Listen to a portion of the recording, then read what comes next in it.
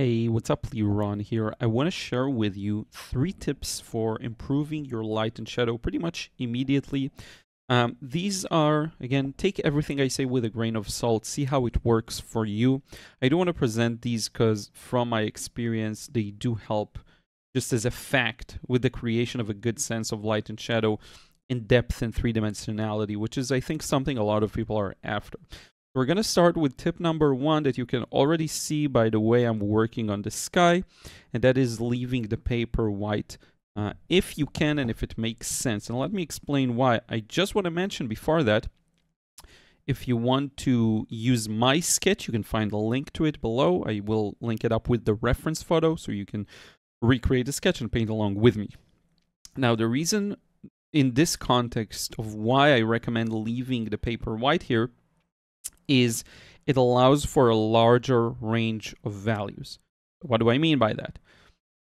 In order to create a full sense of three-dimensionality and light and shadow, um, sometimes it's required to show the lightest lights and the darkest darks. And if you can show all of them, uh, you'll get the best impression. If you're just including a part of the light and shadow scale, or the value scale, if you will, um, depending on the scene, again, depending on the context, it may end up not looking three-dimensional and, and like real good light and shadow sense. Uh, which is why for some scenes it makes a lot of sense to leave the paper white behind as I'm going to do around the windows as well, around the water thingy to heat them and all of that. Um, now, sometimes, and you hear me talk about it, sometimes the white stands out or sticks out not in a good way, because some paintings are so bathed in sunlight or in, in a unique atmosphere where it makes no sense to leave paper white at all. That can happen. This is not one of them because if you look at the reference photo, there's quite a lot of white in there. Okay, so sometimes it does not make sense and I end up removing it. You will you saw it in a video I posted. I I'm off with the schedule. It's such a mess, but I think it's a video I already posted with the staircase. There I started with paper white and I ended up covering it with yellow just to make it all come together a little better and work well. But in any case, for this painting, because we actually have a lot of white here, it makes sense to leave it behind. Sometimes it can be a challenge to figure out what to leave behind while you're painting a wash that's drying on you. Something I'll discuss in a future video. Um, it's not that important actually if the flow is ruined. Flow is not a must. It's not a rule. It's there are no rules.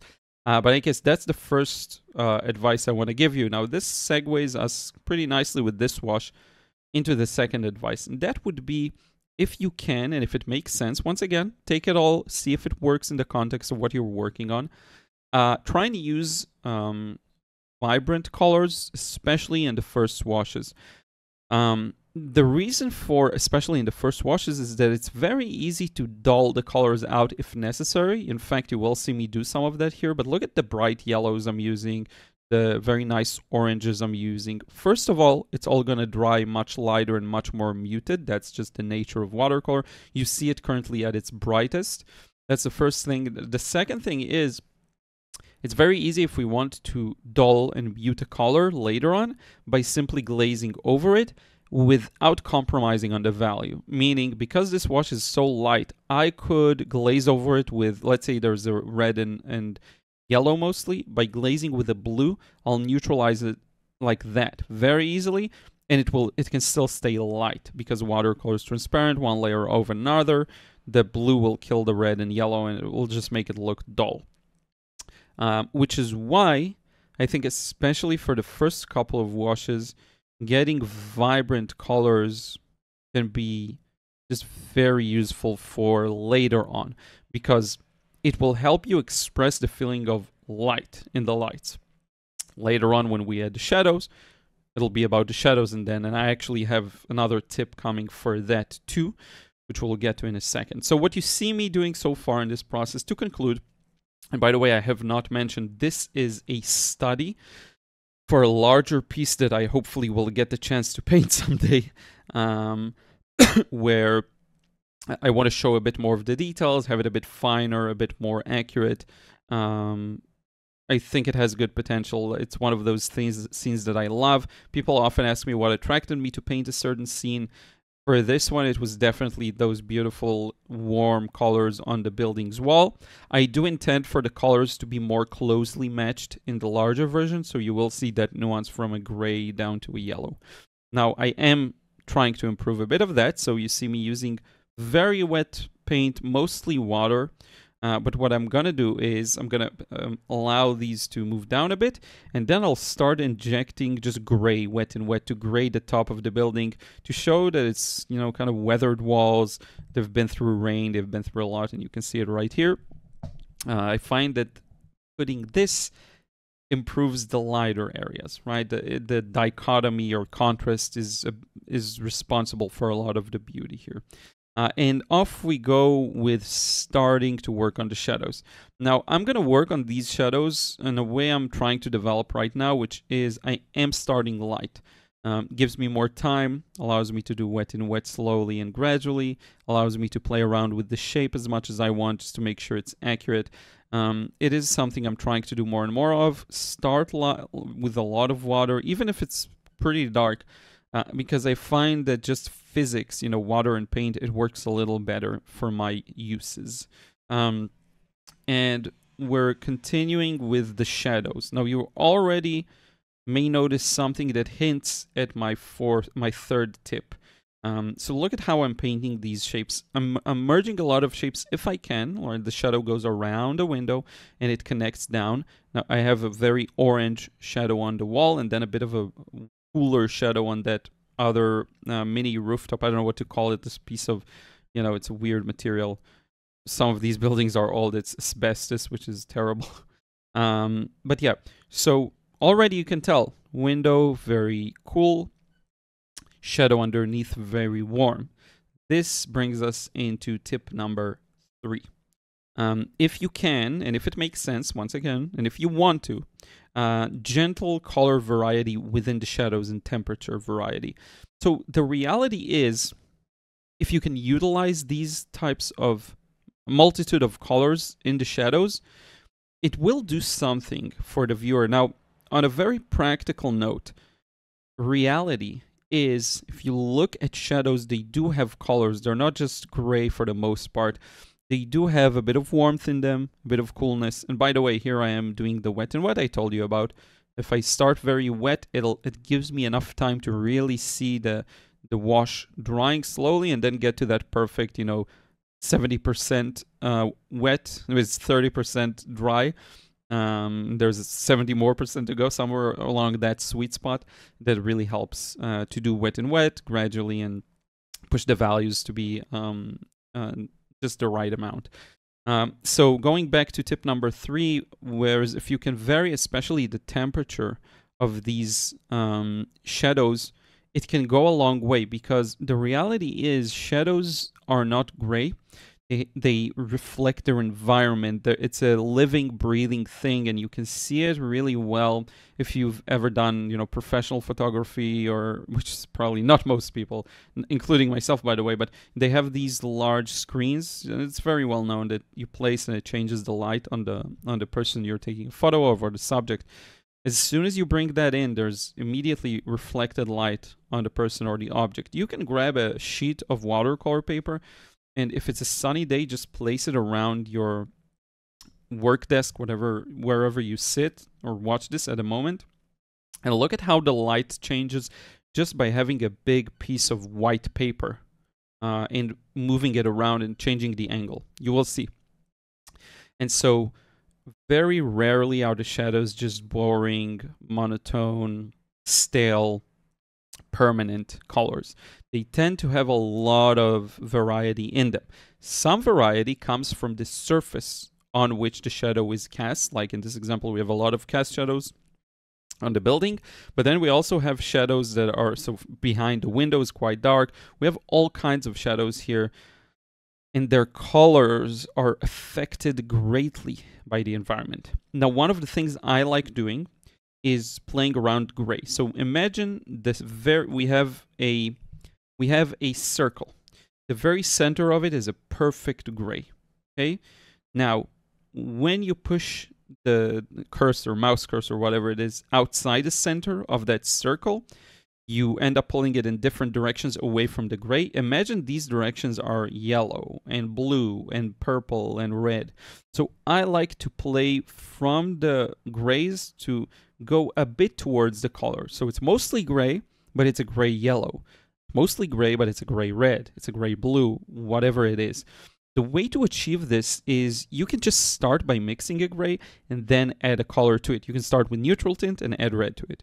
Or you can just use your three primary colors, as I often do, and have a mix where uh, one color is dominant over the others. So uh, if you were to mix blue, red, and yellow in perfect th uh, thirds, right, you'll get a gray. Uh, if you're using the primary colors that lead to that gray, you'll get some kind of a gray.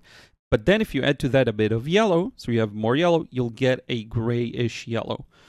Uh, and that's how I like to do it. I push it in different directions. So in here, you'll recognize a bit of violet, a bit of blue, a lot of oranges and yellows. And that is another huge part um, of how you can achieve that beautiful sense of light and shadow. So we've had, just to conclude what we've had so far, we've had, by the way, this section to the right, it's really out of focus. So look at how loosely I'm painting it. Um, so we've had you know, leaving the paper white, which was our first wash where we skipped the uh, paper white to create a, a, wide range of values, starting from the lightest possible light, which is the paper, right? And then we went over to using vibrant colors, especially in the first wash. Um, because that's when you can really let them shine. It's directly above the paper and it's very easy to mute if necessary. And then third was uh, gentle color variety within the shadows. If you can pull that off, already you're setting yourself up to for success and for a good feeling of light and shadow. Now I do want to provide another piece of advice. Um, if you can look at your overall composition, that's just generally speaking, and see that things work. So for example, here, what you'll notice is this entire building to the left really brings out the, the building on the right. So I would say um, the I'm going to give it as a bonus tip, actually. Um, so to go dark, as dark as necessary. And look at how dark I'm going there in this shadow right under there. Because if you look at it from afar, you'll notice that, the again, the entire building on the left really um, touches the building on the right. The reason the building on the right looks like it pops towards us is because of the dark to the left. And all of that left building, which is significantly darker than the building, the main, our main building, is much darker. That immediately makes it pop just like we've seen many times with still life subjects, where you paint maybe a bowl of fruit or something, you add a dark background, they immediately pop at you. Um, so that's another um, thing to pay attention to. And you will notice that the upcoming stages of the painting, the next, let's say, three minutes or so, are going to be just going over areas and darkening them. But before that, look at I'm adding a bit of lemon yellow. It's a bit more of a uh, opaque color, uh, just to bring out some of the foliage so it's not too dark. Uh, adding the same kind of yellow, blue, uh, yellow and blue to create the greens in the background. And you'll notice I carved out the shape of the windows of our light building to make them make more sense. They were a little crooked. They're still a little crooked. These are exactly the types of things that I'll um, put more emphasis on in the larger version. Uh, but for this smaller version, honestly, not as important. Um, I just try to figure out if this is going to connect to something that looks good. Because very often you think something will look good and you end up with a very boring subject. Yeah, I think it's a matter of personal inspiration. Everyone's gonna it's gonna be very individualistic. Everyone will have a different scene that inspires them more. Um, so now we're working on the rooftop, doing the exact same thing, darkening, mostly because these are a lot of white objects. Um, the shadows are relatively gray. There isn't too much reflected light I see here from, let's say, the rooftop or something that that creates a feel of warmth, yellowness, redness, whatever it is. Um, there are there is a bit of rust on some of the metal parts there, um, but mostly it's just a very very flat gray. So so far we've did a fir- we've done a first wash, skipped the highlights, uh, did another wash of shadows and another main one establishing the big shadowy area to the left. Now we're going to finish up that layer of shadows. The next stage is going to be really pushing the darks and some of the details here. So right now, if you look at the windows especially, um, they look quite dark. And in the context of the painting, it's quite dark. But the wall on the left or the building on the left is a little darker in a few seconds, when we get to the windows, you'll see what it means to truly push them to be dark. They're going to be really, really dark in some spots. And it's so important because it connects to uh, what I mentioned earlier about that full range of values. If you can, if it's possible, if it makes sense for the painting you're working on, or the sketch even, um, pushing it all the way from white to black makes a lot of sense. Um, for more atmospheric scenes, what makes them the, one of the things that makes them more atmospheric to begin with is a narrower um, range of values. When you have this scene that's directly sunlit, and I'm adding some of the drain pipes and details, when when you have this scene that's directly hit by the sun, you get all the full range, which is why it was important for me to show. In scenes where it's foggy, misty, overcast, you usually tend to get a narrower um, range of values. So you don't get the lightest lights and you usually don't get the darkest darks, or you get something from the middle to the dark. and you'll notice that with imagine a lot of the Joseph Zbukvic paintings, which is a part of their magic, is it's very different from Alvaro Castagnet, by the way. When he does cityscapes or landscapes from afar, one of the things you'll notice he makes a lot of use of that. So the darkest darks sometimes they do reach the darkest point, but usually a lot of the lightest lights aren't going to be there. I'm talking about the more atmospheric works, not the fields that are hit directly by light, more of his Venice works. Sometimes some of the lighter lights are eliminated. And this is a part of what leads to the atmosphere. Uh, you have the whole idea of a, a, um, a very one very dominant hue. Sometimes it'll be yellow for fog. Sometimes it'll be gray. You know, it's those kinds of things you tend to see. So I added a few wires, riggings, stuff going all around the, the buildings. These are details just for our eyes to focus on. You see them in the reference photo. And now it's time to truly push the darks to be as dark as they need to be. Remember, a full range of value in this one, right? You can decide to narrow it. You can decide to do anything. You don't have to let the reference photo, um, you know, uh, direct you in any way that gives up control. Because a lot of people, myself included, sometimes it happens. Uh, you become so obsessed with what is this color, what is this shape, and you become a slave to it. And it's not always a good idea, I think, to become a slave to anything that is not just your um, your own artistic vision and as pure and clean as you can can do. Uh, with that, that'll be better. Um, so slowly and gradually pushing the darks where I see them just go darker. Uh, this is especially again for the windows. You'll see that beautiful window to the right. As soon as I add some darker shadows to it, in a second you'll see it, um, the blue really shines. So that's another thing that um, I'm not sure exactly why, and I am making use of wet and wet. Um, I'm not really sure why, but when you add a really dark color, it ends up being black it makes the colors that aren't black more vibrant. So you see right here, uh, this blue is very weak. It's still strong, but it's not that strong. As soon as I add the black, it looks like like a lit blue.